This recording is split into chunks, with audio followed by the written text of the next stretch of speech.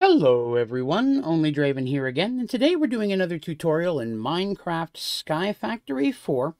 Today we're going to be discussing the automation of a process uh, to create HDPE pellets. HDPE pellets are something that are used in multiple different components in the game, uh, but primarily some of the higher level mulch that will increase the rate of the growth of crops, specifically saplings inside of hoppers and bonsai hoppers. Uh, it's a very important component that you're probably going to need at one point, but it can be a little challenging to make. Um, so this is going to be a update to that. I've made a tutorial of this nature previously. This is a newer design that is more improved and it fixes any of the clogging issues or backing up issues that some people might have found in my original. Um, find this video, video helpful and you like it, please be sure to click like. But most importantly, please remember to hit that subscribe button so that way you can see all my videos, tutorials, and streams as they come out. All right. So you need a bunch of different components for this one. Uh, we're going to start with a dense infinite water source. We're going to need one of those. Now, dense infinite water source is putting uh, eight compact infinite water sources together surrounding a block of gold. Now, just to kind of give you a little idea there, um, to make a compact infinite water source is a bunch of basic infinite water sources around bronze. An infinite water source is four basic plating, two tin ingots, and two buckets of water. So you need eight of these to make one uh, basic comp uh, the uh, compact infinite water source and eight of the compact to make one dense. Um, this process, uh, especially once we pump it up, is going to use a lot of water. I find this to be the best way to do that uh, but any infinite water source should work. Next, we're going to need an electrolytic separator. Okay. We're going to use one of those. We need four iron ingots, two redstone, two enriched alloy, and an electrolytic core. Next, we're going to use pressurized reaction chambers, and we're going to need two of those. And that is two steel ingots, enriched alloy, two basic control circuits, an enrichment chamber, a dynamic tank, and two basic gas tanks. Next, we're going to need a crusher. Uh, that's going to be four redstone, two buckets of lava, two basic control circuits, and a steel casing. We're going to need two rotary condensators. That's going to be four pieces of glass, two basic control circuits, an energy tablet, basic gas tank, and basic fluid tank. Uh, we're going to use a black hole unit.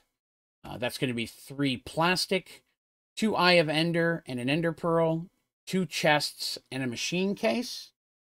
And then we're going to use two black hole tanks. It's almost the same recipe. It's the three plastic, two Eye of Ender, Ender Pearl, the same machine case. You're going to use two buckets instead of chests. Okay? Outside of that, we're also going to be using several different basic of uh, the cyclic cables, energy cables, extraction cables, and such. We're going to use basic pressurized tubes. We're also going to use a bunch of speed upgrades and energy upgrades from Mekanism.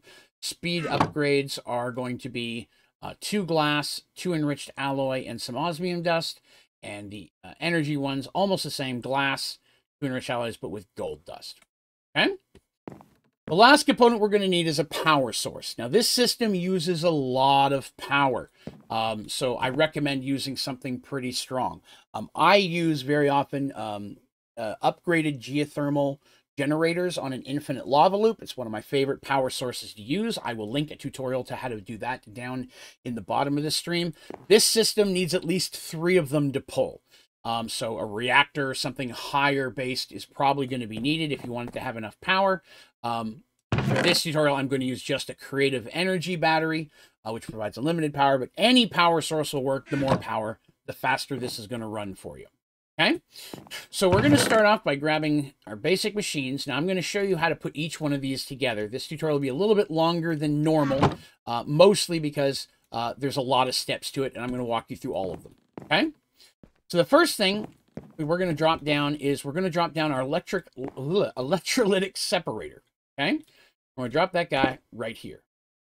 Next, we're going to use a pressurized reaction chamber. Now that It's going to go next to it, but facing the opposite direction. That's important. The electrolytic separator um, takes one product that it makes and puts it out the left side. The other one goes out the right side, and there isn't a way of changing that. So we need the stuff that's going to go out this side. Okay? Then we're going to use our dense water source. Okay? Slap that here. See, it needs the water in the PRC, pressurized reaction chamber, but it's also going to need the, the water in this one. So we're going to go ahead and connect this. So it has water as well. So both of those blocks need to be connected to your uh, dense infinite water source, water source of your choice. Okay. Now, we're going to go ahead and get power to this, and we're going to connect power as we're doing this so you can see each system as we're doing it. Now, for power, I'm actually going to put that down underneath. It's going to be the easiest way to do it. See the underneath of my ugly little area here. But I'm going to go ahead and put a battery here, okay? Um, you, again, could just run your cables from whatever power source you're using, okay? So these are the first two machines. I'm going to go ahead and run this out of here. Oop, I did not grab any energy cables. Let me grab those real quick. Those. Put it away now. That for a minute. And we're going to go ahead and run power to... Wrong one. Wow. I haven't done a tutorial in a while. Bear with me. All right. So those machines have power. Let's look at how those are working. Okay. So the electrolytic separator takes water and turns it into two different fluids. The first one's already going over here, and that's hydrogen. And the second one creates oxygen. I guess it's gases, not not fluid. Um, so we're getting those already now. Go ahead and I'm going to plug up these holes because we're not going to need those for a little bit. Now we're going to use basic pressurized tubes on this side to pull the oxygen out. We're going to need that oxygen later on in this process. Now, to avoid anything clogging up in here, you want to change both of these little sections here from idle to dumping excess. What that means, if the tank gets full for some reason, it'll just void whatever's left over. It'll keep making it. So if this side's being used faster than this side, you don't have to worry about the whole machine stopping because this one gets full. So dumping excess will allow it to still keep filling the tanks up. As you can see, we're getting oxygen coming up in here. And from this side, all the hydrogen is going into here. Okay? So the next thing that we're going to have to put down is going to be our, um, here, rotary condensator. We're going to set that right here. Okay? Now the rotary condensator going to have here. We're going to leave a space for that. Okay. Couple of these away for a minute. Not do that anymore. We're going to go ahead and grab our black hole tank. Set a black hole tank over two spots. Okay. We're leaving a space for a cable in each one. Make sense? Okay. Then we're going to take another pressurized reaction chamber. We're going to leave a space. But this one can be facing sideways. We want the front of that to be facing our black hole tank. So this is the basic line of machines that we have running, right? Now the next and last machine is going to be our crusher, and we're going to set that right in front of this pressurized reaction chamber, facing this way, facing towards that PRC, because this is going to automatically eject what it makes into here. Okay? So, next thing, as we're laying these machines out, going to go ahead and we're going to set ourselves another rotary condensator here behind that last pressurized reaction chamber. Uh, and if I remember correctly, yes, it's going to be facing this direction. you may have to flip that in case I've forgotten wrong, but it should be coming this direction. And then we're going to take another black hole tank. we're going to set it at the very end. This is our basic process. There's only a couple more things we're going to add. We're going to go ahead and grab some item extraction cables. On top of our pressurized reaction chamber, the thing that's kind of right smack in the middle of these machines, we're going to put an item extraction cable coming up. Let's bump that up to 64. Okay. And then we're going to put away the tank, and we're going to grab the black hole unit. We're going to put a black hole unit on top of that. The purpose of the black hole tanks and units um, are some of these processes will produce materials, gases, or fluids faster than other machines can use them. That's where the clogging up or the blockage in the system, the original design, used to happen. This will fix that because the black hole tank holds a horrendous amount of material. And worst case scenario, if you run your world for a few hundred hours, you may have to take a tank out and put another empty one back in. But the time it takes to fill a tank or to fill a black hole unit with this process nearly going to be very hard to do. Okay, not impossible, of course, but the worst case scenario, you may, on a rarest, very rare occasions, have to remove your tanks and put fresh ones in. But you'll also have the extra gas or fluid in the tanks that you're using. So now we're going to hook some of this stuff up. The last thing we're going to need is we're going the crusher is going to be um, that's what's going to make one of the basic components of HDPE. It's going to need something feeding into it. Let's just go grab a chest here real quick. We're going to set that here because there's different options you can use. We're going to talk about those when we get there. Well, let's go ahead and connect all of these. The first thing we're going to do is put an item extraction cable here. This is going to take whatever material we use to pressure into the crusher. Now we're going to go into the crusher. We're going to click on our side configuration. in the items menu. We're going to click auto eject on, outputs to the right, right? We want energy coming in the bottom. And then from the left hand side is going to be our input. We'll accept it. Sure. Okay. So now we're going to go underneath our system. And now we have to power all the things that we just put in there. Right? We know that machine's here. Then over two, going to be this one. I'm just going to put a hole in there for now, and that's fine, so you can see the process. And we have our tank, and we have another machine. Right, so we need to get power to that. Go over two more. The machine. And the last thing, of course, as we know, is a tank, and that's not going to need any power. Right?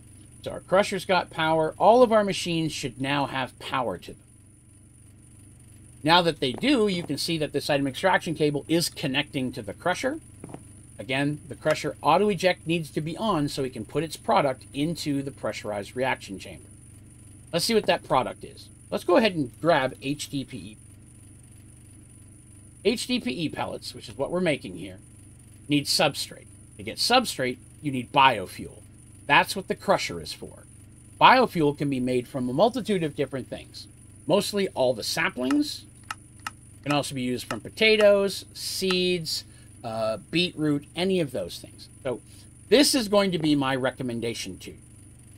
I've found uh, that you can put a sapling here and just filter just saplings in if you put a hopping bonsai on a chest or something of that nature. But sometimes, you know, uh, the actual saplings don't drop every time. That can be a bit slower. You have a whole bunch of saplings dropping into the system if you want. But we want a lot of stuff. So I would recommend making a farm. It doesn't have to be a huge farm, uh, but you're going to want at least 12 to 14 plants. And I would use either beetroots or potatoes. And you could have, if you wanted a farm right here leading right into this, or you could have a farm connected with cables to bring the potatoes over here if you would, or to bring um, your beetroots, whatever you use. But potatoes and beetroots I find to be good if you use a bunch of sprinklers. Your crops are going to grow fast enough to keep this system up and going. Okay? And if that's the case, you may want to replace this chest with another one of our black hole units, right? Because if you got if it's producing a ton of potatoes, you don't want this to clog up your farm system either. So you can use a black hole unit here if you have a farm bringing in a lot of a lot of products. Okay. So now that we've got that set up, we're going to put some potatoes in there in just a minute once we get the process started. We're going to go back over here to these basic pressurized tubes that we started with very early on. I said we're going to need that oxygen for something later, and we are.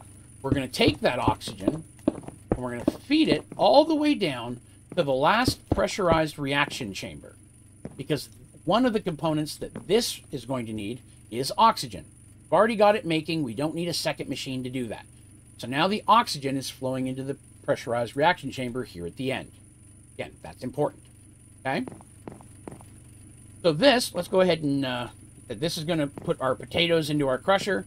That's going to go into here. Now, our PRC has both of the, what it needs. It has water and it has hydrogen.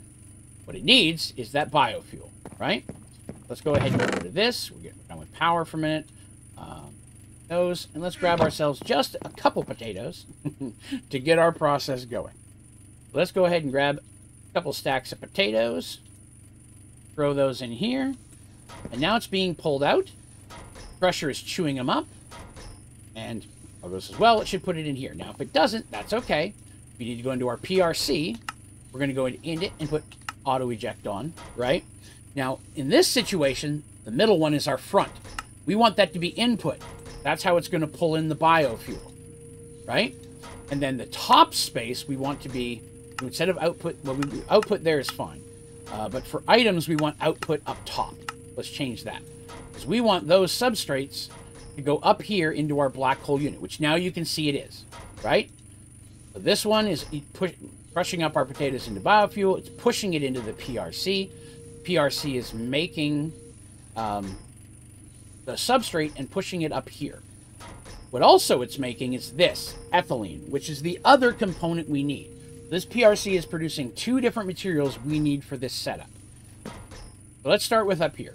What we're going to do is we're going to put an item extraction cable, crank that up to 64, grab ourselves our item cables again. We haven't used those yet. And we're going to take these, we're going to connect them to the top of that pressurized reaction chamber that has the oxygen going into it, right? As you can see, it's now getting the substrate. Now it's getting oxygen and substrate. That's two of the components it needs to make the actual HDPE pellets. Let's get it the third.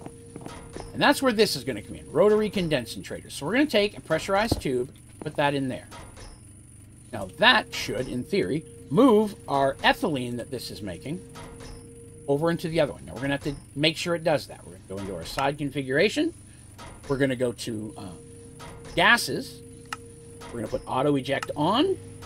Output's already set to the right. Now you can see it's in there and it's coming into the rotary condensator. So what a rotary condensator does is it turns a gas into a fluid. So that ethylene is being turned into liquid ethylene. We need it in that format. So this system here, making our biofuel, going in here, this is now producing, I've run out of potatoes are going, so it's making our substrate, which goes all the way over here. And depending on the speed of your system, your substrate may make fast, make, make very fast. That's why I like to use a black hole unit here, so it'll hold any overflow. Again, we want to avoid any clogs. Now that this is turning our ethylene into liquid ethylene. We're going to move that liquid ethylene into this black hole tank. We're going to do that with a fluid extraction cable. Now it's a fluid, not a gas anymore. Put that there. Now I don't have to make any more changes to any of the configuration. As you can see, our black hole tank has already gone pink at this point, which means it's getting the fluid. You see our ethylene is filling up. And now we need to get that fluid into our pressurized reaction chamber with another fluid cable. Okay? We're going to go back into here, right? Because you see the tank is not connecting, or the hose is not connecting here.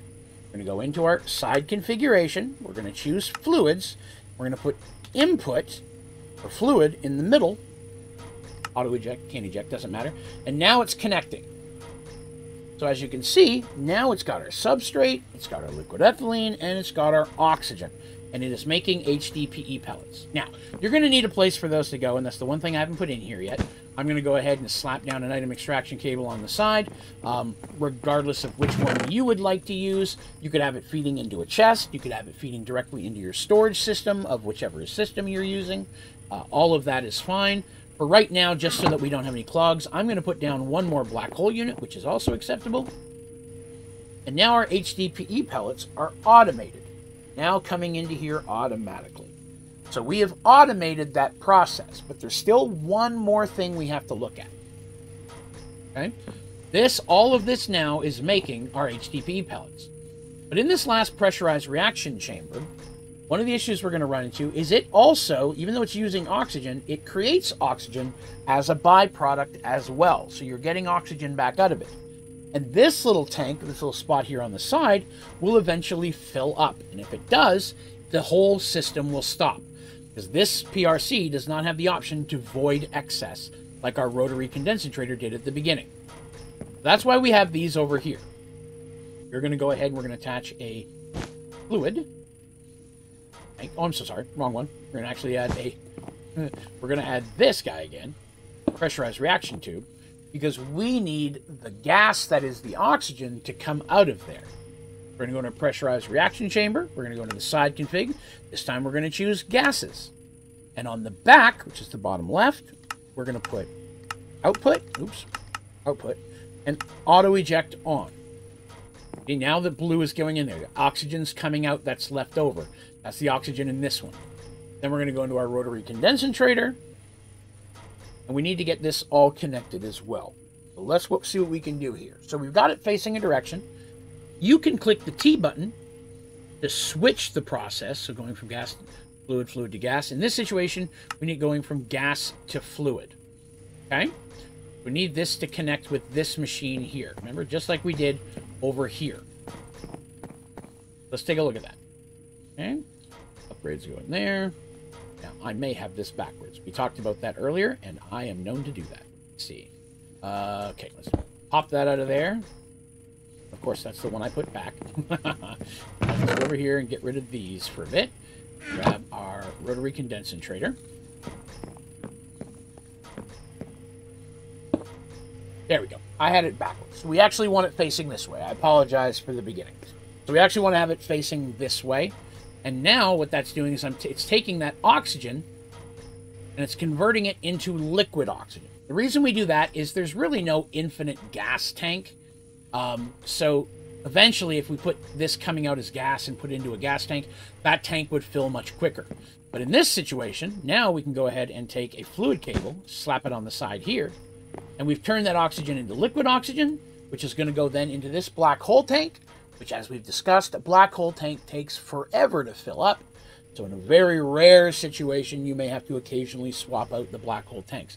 But it will take a very long time to do that, especially considering this makes a very small amount of, oh, sorry, this makes a very small amount of oxygen. It uses most of it. All right. So, we've got everything set up. At this point, the system is going, and this is an all you need to run it automatically. We are going to do one or two little last things here, though, just to kind of give some uh, suggestions. If you'd like to increase the speed of this process, that's where the speed upgrades and energy upgrades that we talked about at the very beginning are going to come into play. Okay? Go ahead and throw some more potatoes in there. So we've got taters. We're going to start by grabbing our energy. As I mentioned, this whole system uses a lot of power.